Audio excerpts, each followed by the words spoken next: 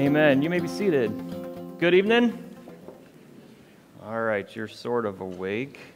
I know you're coming from work and from a long day, so we will keep this will be a interactive service to keep you awake and uh, and attentive. So that'll be wonderful. But thank you for joining us on this Good Friday service at KMCC. Uh, I'm really glad you came for this special time together, and I hope this is an encouraging uh, evening for you. Um, by the way, we don't have childcare tonight. If your child becomes disruptive or wants to have a little bit of movement, uh, the rooms are, or the room over here is open for that, and you can feel free to take them over there. Uh, why don't we begin with a word of prayer? Father, just thank you so much that we can come here together tonight on this Good Friday. Uh, it's it's good in the fact that you died for us and we receive so much. Uh, at the same time, it's it's sobering to think of what you had to go through to save us. And so we want to take a moment and remember uh, what you've done for us and proclaim your death until you come. And so that's why we're here tonight to, to bring praise and honor and glory to you and to say thank you and to remember what you have done. And so I pray that you would be with us in this service.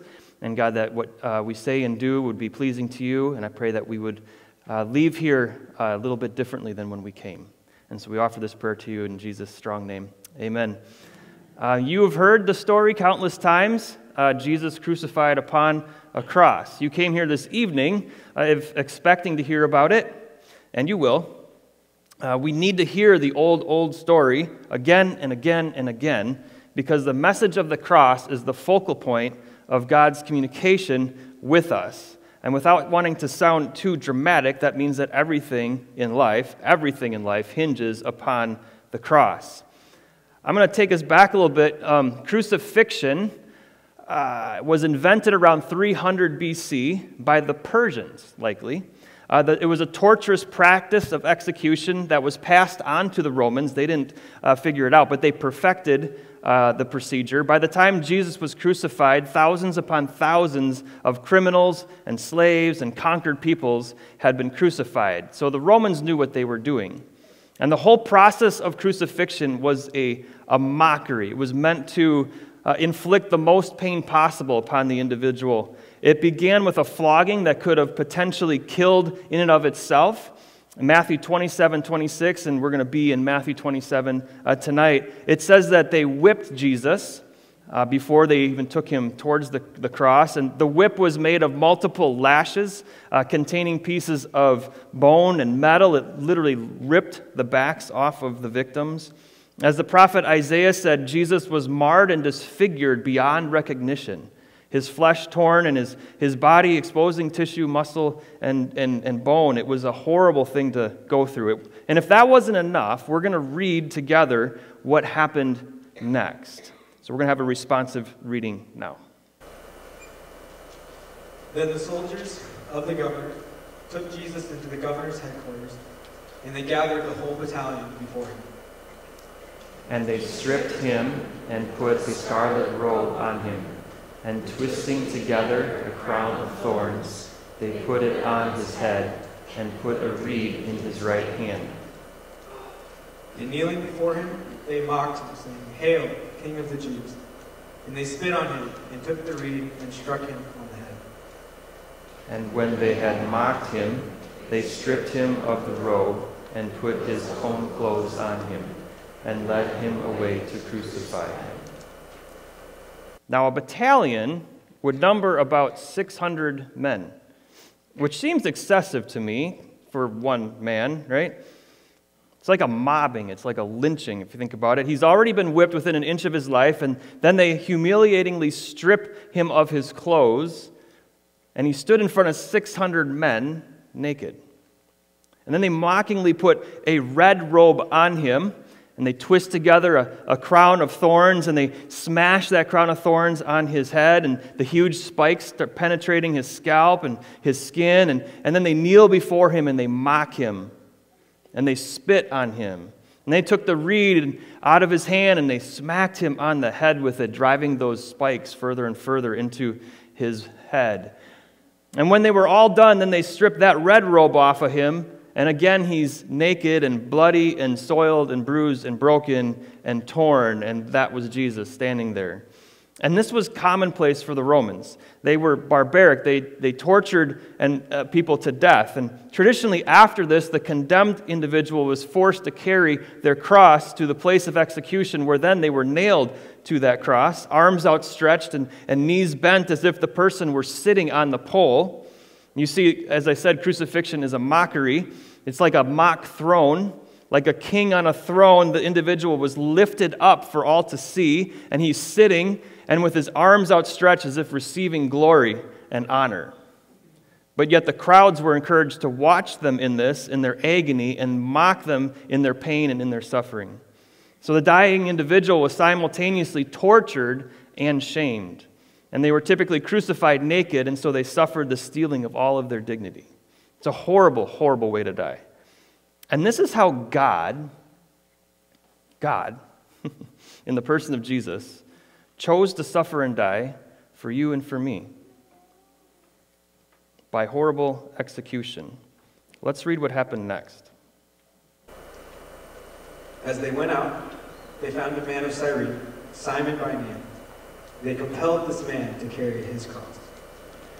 And when they came to a place called Golgotha, which means place of a skull, they offered him wine to drink, mixed with gall. But when he tasted it, he would not drink it. And when they had crucified him, they divided his garments among them by casting lots. Then they sat down and kept watch over him. So they led Jesus out to crucify him. But Jesus had lost so much blood and had been whipped so badly that he and endured so many countless beatings to his head, he could not carry his cross. And so the soldiers compelled Simon to carry it for him, and they, they go off to Golgotha. It's a piece of ground known as the skull, it's the universal symbol of death. And it was most likely the place that the Romans uh, did numerous executions. It was among, along a main thoroughfare uh, so that all who came by could see him. And then there's uh, this thing about wine and gall. This is more than likely a narcotic that was given to those suffering the agonies of crucifixion to lessen the pain a little bit. But Jesus refused to deaden uh, the pain or to lessen his consciousness in, in his final act of obedience. Jesus was fully aware, fully conscious, fully accepting the totality of the pain and agony, the heartache, and the shame. And he did this for the sake of all of us who would believe afterwards. For you and for me. And it's an example to me. This was an interesting thing that I thought of. Did, did G, that Jesus did not take the easy road. He did not seek to lessen his pain. He did not seek an escape from his fate. He did not use chemicals to help him endure. He relied fully upon the strength given to him by the Spirit of God to accomplish the will of God. He relied fully on the Holy Spirit, not on anything else. And, and for some of us hearing that story, how may the act of Jesus refusing chemicals be an example for us? And then when they crucified Jesus, they took off the cloak that they had put on him before they started the journey to the execution site. And so they removed his garments, plural, inner and outer, which means that Jesus again is naked out on that road. And they afforded Jesus absolutely no dignity. They shamed the God of the universe. And the soldiers would typically split the belongings of the executed, and all Jesus had, though, were his garments. And so, in order to determine who got him, then the, they cast lots in order to see who would receive those. And then it says that they crucified him. And Matthew records this so that we would all know. Make no mistake, Jesus was crucified on a cross for all to see. It was not some made up story, it was not an embellished story this was actually what happened. And it says they sat down to watch. How horrible is that? Would you sit down to watch someone in agony dying upon a cross? Just amazes me. Let's continue reading Matthew 27. And over his head, they put the charge against him, which read, This is Jesus, the King of the Jews. Then two robbers were crucified with him one on the right and one on the left. And those who passed by derided him, waving their heads and saying, You who would destroy the temple and rebuild it in three days, save yourself. If you are the Son of God, come down from the cross. So also the chief priests, with the scribes and elders, mocked him, saying, He saved others, he cannot save himself. He is the king of Israel. Let him come down now from the cross, and we will believe in him. He trusts in God, let God deliver him now, if he desires it. For he said, I am the Son of God. And the robbers who were crucified with him also reviled him in the same way. So there's one on his right and one on his left. And there's terrible irony in this statement. A few days before, James and John, two of the disciples, uh, had approached Jesus and they had asked, Grant us to sit one on your right hand and one on your left when you get into glory. When you become king, we want to be right there next to you. And Jesus had responded with a statement that was kind of confusing. He said, You don't know what you are asking. Jesus, knowing what his glory would entail, finished his response uh, with, But it is for those for whom it's been prepared. Ironically, Jesus, in his mock glory, was flanked by two robbers. Jesus did have one on his right and one on his left hand, for whom it had been prepared, as he was mockingly hailed as the King of the Jews. And it wasn't just the physical agony that Jesus suffered, but the stripping of all his dignity, the relentless mockery, the outright rejection and disdain. And, and Matthew names three groups that we just read of that, that mocked Jesus to his face. There were the passers-by. It says the passers-by derided him. And the word deride means to blaspheme. So they wagged their heads and they were just like, ah, you who would destroy the temple and rebuild it in three days, save yourself. Come down off that cross. The crowds hailed Jesus uh, just a few days before as he rode into Jerusalem on the donkey, and now they're blaspheming him to his face. And ironically, they were quoting Jesus, who predicted this very moment how they would destroy his temple, the body, right? His body, and that, that he would rise again in three days, thus rebuilding it. So they knew his words, but they were blasphemously throwing those words back in his face. And then there was the chief priests and the scribes and, and the elders. They were mocking him, it says. And, and he, they said, He saved others. He can't even save himself. And these were Jesus' arch enemies all through his uh, three years of ministry. And, and now they're arrogantly standing there uh, looking at him in agony as though they're victorious, right? They, they think that they've silenced Jesus and proven once and for all that he's a fraud. And here's the real irony in their statement is he is the king of Israel well, let him come down off that cross, and then we will believe him. So they're saying that they would convert if he came down off the cross. And all the while, in order for them to truly receive salvation that he had to offer them, he had to stay on that cross. And they said, He trusts in God, let God deliver him now if he desires him, for he said, I am the Son of God. Again, they're using his own words against him. And mockingly, the scribes are looking right at Jesus, right? God in human form. A living parable of love and forgiveness, silently enduring all of their evil, mockery, and shame and abuse, all for the sake of his love for them and, and for us.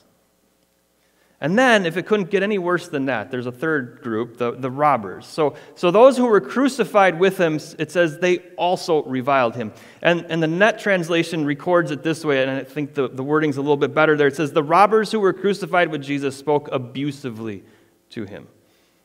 That carries some meaning in today's culture. So they, they, they were verbally abusing him. So these guys, these criminals, these, these robbers, these murderers, and you know what that type of a, a person, what kind of a, a language they bring to uh, the forefront, right? So they were shaming Jesus.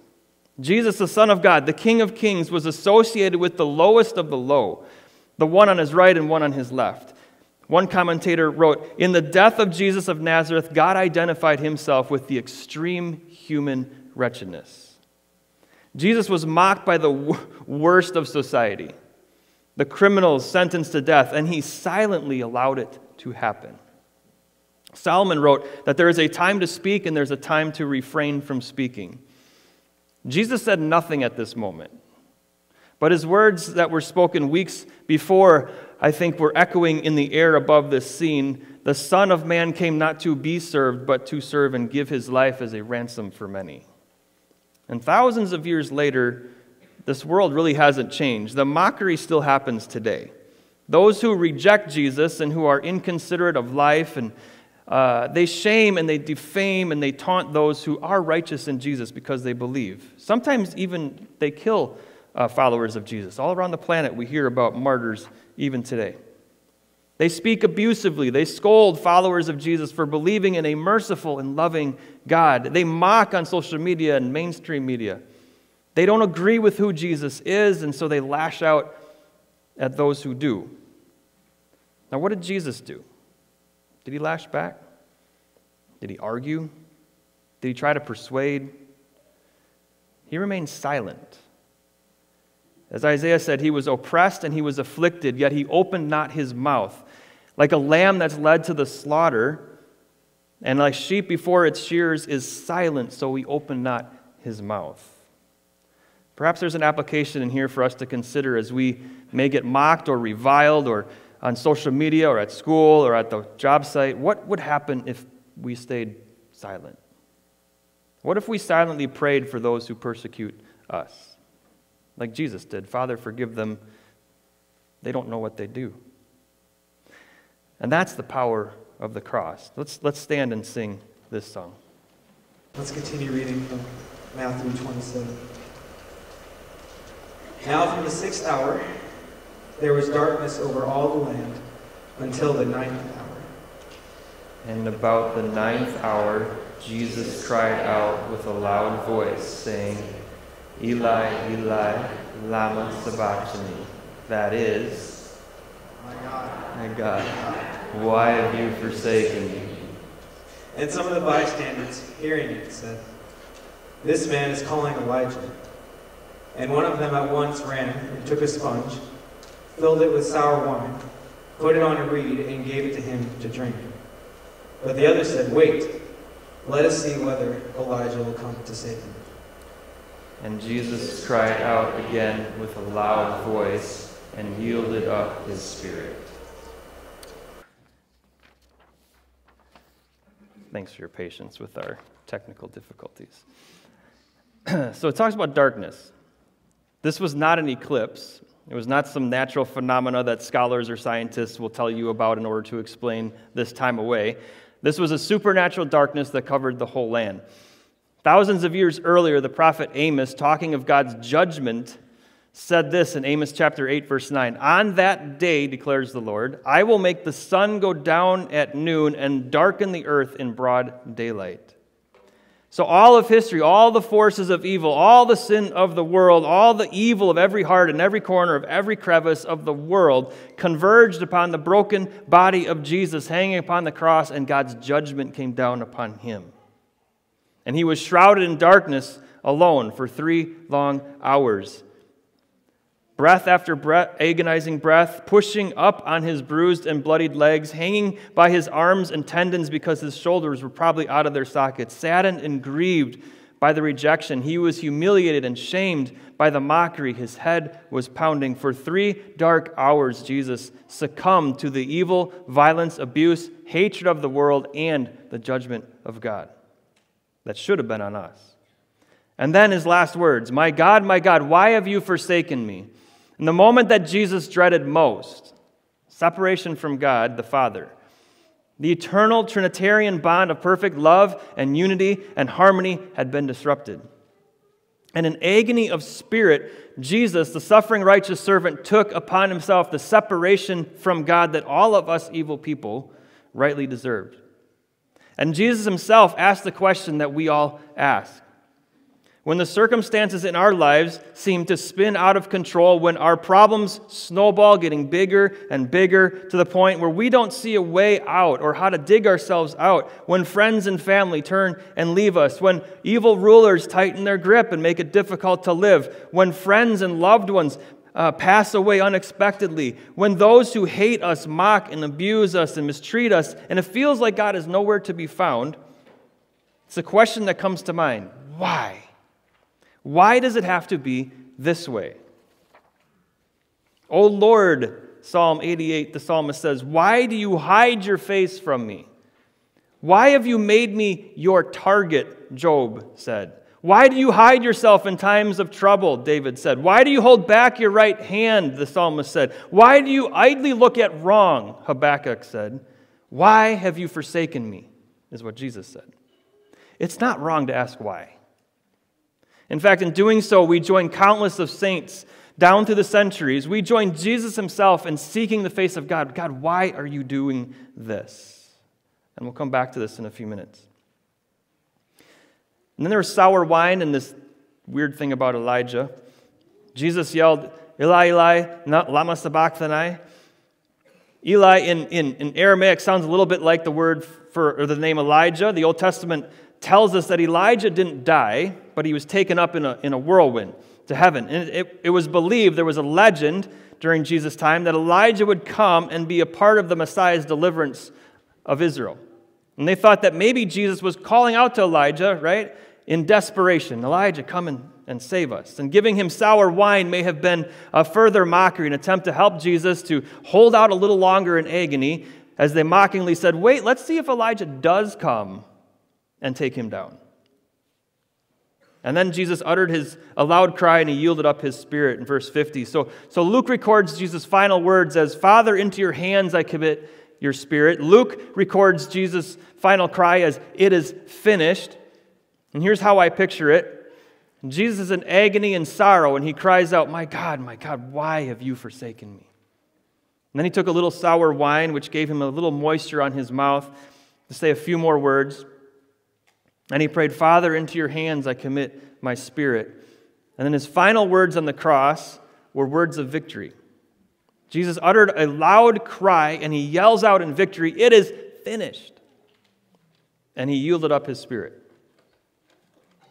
Jesus' final words on the cross were words of victory. They, they were not words of resignation or of defeat. Jesus uttered a loud cry and he yells, It is finished from the cross. The suffering was complete. The effects of the fall were reversed. The consequences of sin were destroyed. Death was defeated. And soon Jesus would sit at the right hand of the Father in heaven. And it says that he yielded up his spirit. Now, I want you to notice who the actor is in that statement it's Jesus. Jesus set aside his spirit, he yielded it up. Jesus was not overcome by death. Jesus, death did not take Jesus. The Sanhedrin didn't murder him, the Romans didn't take his life. Jesus willingly gave it up.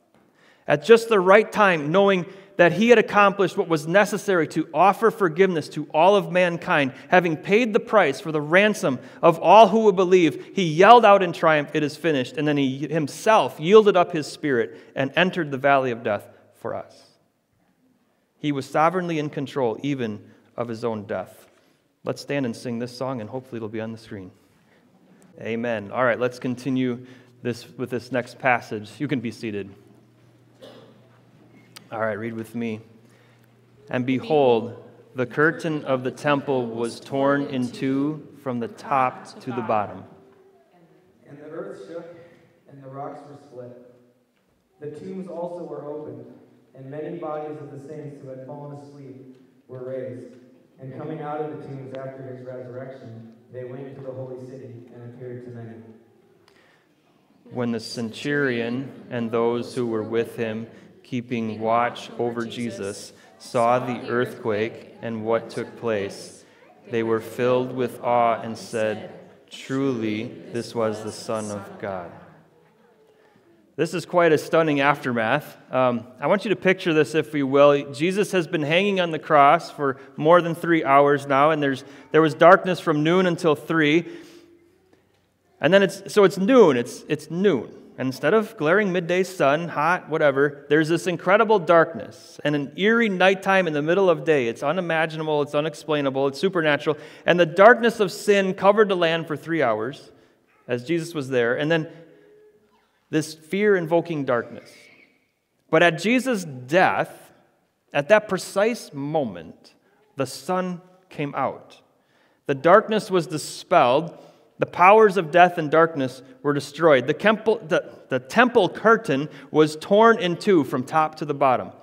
And this is hugely significant. I'm not going to go into it, but it signifies that the way to God his presence has been open to anyone who would believe that Jesus was the Savior of the world. And it says that the earth shook and trembled, the rocks split in two, as God's creation witnessed his own death. The very earth itself trembled at the significance of this moment. The tombs were opened and, and the bodies of the saints were raised. It says, I don't, I don't know exactly what happened here, but God did some miraculous thing that accompanied the death of Jesus, unexplainable things. And I think it's a foreshadow of things to come when Jesus would rise from the dead, and even further in the future than when we get to look forward to being raised from the dead when Jesus comes back for us again. And the light then splits the darkness, revealing that the way, the truth, and the life was hanging on a cross, dead. And now the centurion guard has been standing there in the dark for three hours, and he heard Jesus cry out in victory, It is finished. And he heard Jesus' breath go out of his body, and as that happens, the sun comes out. And simultaneously, there's an earthquake, and the rocks are splitting, and there's people rising from the dead, and there's a temple curtain is torn in two, and the centurion saw what took place. All of this. And he's standing there and he's facing Jesus. He's watching what happens. And, and this centurion has seen dozens, if not hundreds, of crucifixions. He's used to death. It's no longer traumatizing to him to see an individual breathe his last, it was part of his job. And he's standing there and he's facing Jesus, watching him in agony, pain, simply waiting for Jesus to die like any other criminal he's ever watched. But this one's different. He saw what took place the earthquake. He saw how Jesus died, his loud cry. And here's the deal the, the Gentile centurion heard and saw the way in which Jesus died. His death was somehow different than all the other deaths that he had witnessed in the past. The darkness, the earthquake, the veil, the sunlight, it all came together and as a suffering servant who was condemned as the king of the Jews voluntarily gives up his life to death. Death did not overwhelm Jesus. Like all the other men that this centurion had seen, the centurion saw Jesus enter into death when and how he wanted to, because Jesus was in control, not death. And seeing this display of power and restraint and submission and suffering caused the centurion to declare, truly, this was the Son of God. He saw and he was filled with terror, which was an ironic statement for him to make right? In traditional Roman culture, the awarding of the title of God or Son of God was given to emperors and kings, never of a despised person hanging on a cross. And what got you the title of Son of God was your military achievements, your victories, your veneration by the crowds, your control of the masses, all of that, lording it over others. These were the signs that you were Godworthy. Suffering, loss, mockery, crucifixion were signs or evidences that you were not divine, right? So, for the readers of Matthew's gospel, it was a contradiction, an impossibility, a foolery for the Roman to declare that this dead mockery of the King of the Jews was the Son of God. And that's why the gospel of Jesus is so divisive at times and why it's so difficult for people to believe it. What kind of a God dies? What kind of a God suffers? What kind of a God allows himself to be mocked and ridiculed, beaten and whipped? What kind of a God allows mockery and suffering and death into the world that he created? If he's a good God, right? But then again, what kind of a God becomes human and enters the world through the birth canal? The answer is the true God, the good God. The true God is the only God who died on a cross for you. And the centurion's response is the response God desires from all of us. I want you to consider what the Apostle Paul wrote to the believers in the city of Rome. It's found in Romans 10. He wrote this If you confess with your mouth that Jesus is Lord, God, and believe in your heart that God raised him from the dead, eh, you will be saved. For with the heart one believes and is justified, and with the mouth one confesses and is saved. For everyone who calls on the name of the Lord will be saved. So, how do we respond to God's to a God who suffers and dies? Paul's message, Jesus' message, the message of the Bible is simply this we repent and we believe. We repent. We admit that we need Jesus, the Son of God, to die for us. and we receive salvation and eternal life. We believe, we believe that God raised Jesus from the dead, and we receive justification and forgiveness from our sins, and then we confess. We confess with our mouth that Jesus is Lord. And confessing that Jesus is Lord is just an admission that no other person, no other king, no other deity, no other spirit, no other movement, no other ruler, no other organization, nothing else can save but Jesus. That is what true belief is a turning away from all other options because they don't work and relying solely on Jesus for salvation. The truth of the matter is, you can't tack Jesus onto something else in life. You can't trust in him and something else for salvation. You can't dabble in Spiritism and add Jesus to it as a safety precaution in case it doesn't work. You can't pursue financial security and power and fame and add Jesus as a means to our own end. We can't follow the law of the Old Testament and add Jesus to it just to be safe. You can't put our hope in the right politician and tag Jesus on just to make it morally acceptable. It's Jesus' way, He's the only way. And we come together on Good Friday year after year not to celebrate the Lord's death, but to proclaim it and to encourage one another to keep on believing it. Because his death is the only means of salvation. And this is the way, the only way that God determined we could receive eternal life and peace and hope. It's found only in the person of Jesus. Jesus is the Son of God and the King of Kings. He is the God who died for you. So repent and believe. Confess along with the centurion that Jesus is the Son of God and you need him. And if you haven't done it today, I would ask you to do so. But the reality that righteous people suffer is nothing new. It was true for the Son of God, it was true for God. It was true for the great men of God. It was the topic which men and women have struggled to understand down through history. People like Job and Solomon and Habakkuk and Jeremiah and Moses and Joseph and King David himself all struggled with this question.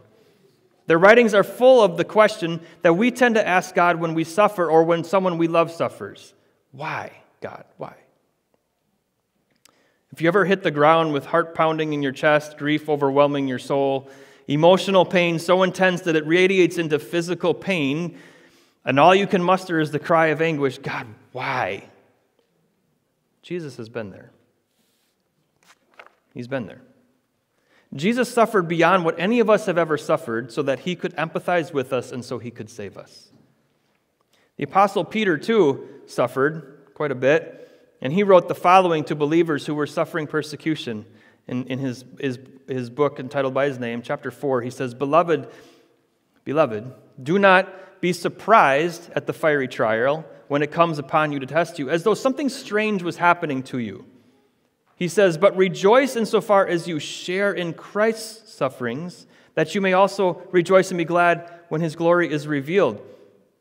He continues, If you are insulted for the name of Christ, you are blessed, because the Spirit of glory and of God rests upon you. If anyone suffers as a Christian, let him not be ashamed, but let him glorify God in that name. And let those who suffer according to God's will entrust their souls to a faithful Creator while doing good. You know, Peter didn't mince words. Suffering to him was an expected thing as a follower of Jesus. But why? Why, why did God design it in such a way that he had to suffer? Why did God make suffering part of this world? Why must we suffer? It seems cruel, inhumane, and unnecessary. Here's my take on why God designed it this way. Paul gives us an answer in, in the letter to the Roman church. And he wrote the following to folks who were being thrown to lions, impaled on poles in Nero's garden, folks being thrown into prison, hiding in the catacombs, folks grieving the loss of family and friends.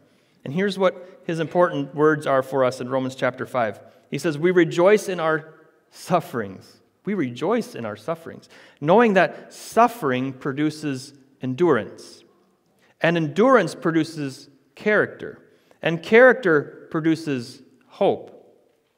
And hope does not put us to shame because God's love has been poured into our hearts through the Holy Spirit who has been given to us.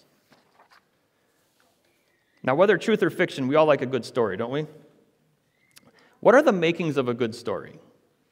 A good story must have, in my opinion, struggle, mystery, danger, adventure, suffering, vindication, victory, reconciliation, those type of things, right? Nobody wants to hear a safe story. A boring story is boring because there's no struggle to overcome, right? Nobody wants to hear about someone get up in the morning, have coffee, eat breakfast, sit down, read the paper, take the dog out for a walk, and go back to bed. That's not a story, right? Stories that speak to our hearts are stories of struggle that tell of people dealing with disappointments and difficulties, about overcoming trials, right? Those are the exciting ones. I want you to think of the greatest stories that you can think of. Some of, some of the ones that are my favorites are Fox's Book of Martyrs and Pilgrim's Progress, Lord of the Rings, right? Star Wars, Schindler's List, Band of Brothers, right? Dietrich Bonhoeffer's biography. I don't know if you new, new ones out there, the Wingfeather Saga, missionary biographies, and of course, the Chronicles of Narnia. My youngest son and I are reading through these right now. But all of them have a theme endurance through suffering, right? You see, there's something inherently eternal and significant about overcoming struggle and suffering for the sake of others or something bigger than you.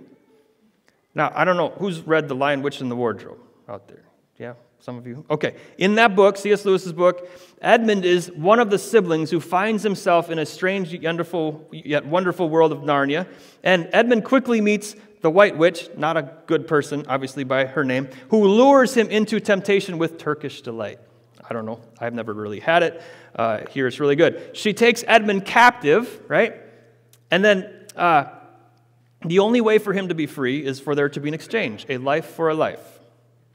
Aslan, the lion who depicts Jesus, takes Edmund's place by allowing the witch to kill him on a stone table. And Aslan is dead in the middle of that story, dead. But just when it seems that evil has won, the unexpected happens and Aslan rises up from the dead. Right? Through his resurrection, he not only frees Edmund, but he breaks the witch's curse and all the power over Narnia, and everyone is happily ever after. Now, C.S. Lewis writes this book as an allegory of the story of Jesus. But what's surprising to me is that believers and unbelievers alike like this book. There's even a movie made about it, right? It was, yeah. Why? Why do we like that stuff? It's because of the glory and the vindication and the reconciliation and the forgiveness. All looks bright and beautiful against a backdrop of suffering and struggle and difficulty and sin and death. And that's the way that God designed the world that we live in. For love to truly be loving, it must be chosen over the evil of hate. For gl- glory to truly be glorious, it must be achieved over the greatest of obstacles. For victory to truly be triumphant, it must be acquired through much struggle and suffering against evil. For there to be forgiveness, there has to be a wrong committed. For there to be mercy, there must be a sin which causes one to be undeserving. For there to be courage, there must be something to be afraid of. For there to be hope, there must be a reason for hopelessness. And this is the way that God designed it. And it's beautiful if you step back and you appreciate it. You see, God uses the suffering and the struggle to shape us into people who reflect His character and His nature. People who endure because God is faithful. People who love because God is love. People who are patient because God is long suffering. People who are compassionate because God is merciful. People who are kind because God is kind. People who do not fear because God is sovereign. People who are humble because God is the servant of all. People who have hope because God is true. Suffering produces hope. And Jesus willingly went to the cross for two reasons on that day. The first reason is this Jesus suffered and died upon the cross to pay your penalty for your sin. He took the sin of the whole world upon his perfect righteous shoulders, and he died the death that we rightfully should have died. He paid the ransom in full, and it is finished. And all you must do to escape death and hell is to admit that you are a sinner in need of that salvation and trust that Jesus paid it all and that he took your place. And God promises that you will be saved from that. And he gives you eternal life and he calls you his own. And you get to live in the freedom and the, of the forgiveness and with the hope that you will one day see God in paradise and be with Him forever. And the second reason that Jesus died upon that cross was this Jesus suffered and died upon the cross so that we could cling to Him for hope in the midst of suffering. You know, oftentimes the in life, the suffering can seem to go on forever like it will never end. It can seem like there's no coming back from the place that you're in right now. Perhaps you were fired from your job. Now, who's going to hire you, right? Your reputation's ruined, you have no prospects for employment. Perhaps your spouse walked out on you and there were no, now you're there with the kids, the house, responsibilities, absolutely no answers.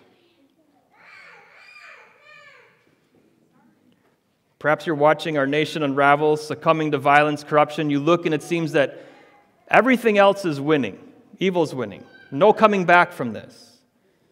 Perhaps you're dealing with an addiction or depression and it's getting the best of you. You've tried to overcome it, to deal with the pain, but it's too difficult. You keep going back to the destructive habit or chemical. You see no way out. Perhaps you unexpectedly lost a family member, a friend, and you don't know what you'd do without that person in your life. Perhaps you have ruined relationships. For whatever reason, they don't want to see you again, and there's a pit in your stomach and a hole in your soul, and you have no idea how it can ever get fixed. I want to remind you of the truth of Jesus' death and resurrection. Suffering produces hope. Hope that this world is not all that there is. G.K. Chesterton said, It is only when everything is hopeless that hope begins to be a strength. If your suffering seems to go on and on, if your situation seems hopeless, it seems like there's no coming back from this. Now is the time to rejoice in your sufferings, knowing that suffering produces endurance, and endurance produces character, and character produces hope, and hope does not put to shame because God's love has been poured into your heart. Suffering like Jesus, with Jesus, for Jesus, produces hope. Now, how does that happen? I don't know. God just does it. It's a miraculous thing that He does. He uses our sufferings in this life to produce endurance, character, and hope in us that the world cannot attain and it cannot explain because it's supernatural. You ask yourself, how do people endure persecution and martyrdom? How do friends go through chronic and debilitating pain? How do we endure emotional pain and agony of broken relationships? How do we continue on after death and loss? It's through faith in the goodness of God, through faith in the vindication of God, through faith in the healing of God, through faith in the resurrection of God, through faith in the promises of God, through faith that this is not all that there is. That God has prepared a place with no more death, no more suffering, no more pain, and because of Jesus, we will be there someday with Him. And that's how we can do, as the Apostle Peter suggests, we can rejoice in Christ's sufferings and be glad when His glory is going to be revealed. We endure suffering because we have hope in Jesus because God has us in the palm of his hands and he will raise us up just as he raised up Jesus, and we will be with him forever.